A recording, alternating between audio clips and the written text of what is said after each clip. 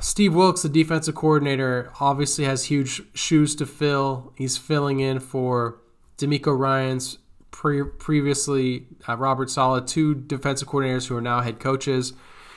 And Steve Wilks is like a DB coach, and he likes to be in the press box or in the in the up top suite area.